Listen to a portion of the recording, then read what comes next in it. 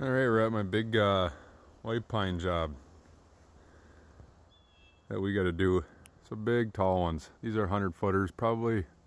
Actually, those probably aren't 100, 100 footers. Those are probably only 80. Then you got big toads like this, though. Probably got 20 foot of straight. That'll be one log right there that goes on the semi. And then all that mess. A lot of that will probably end up being pulp.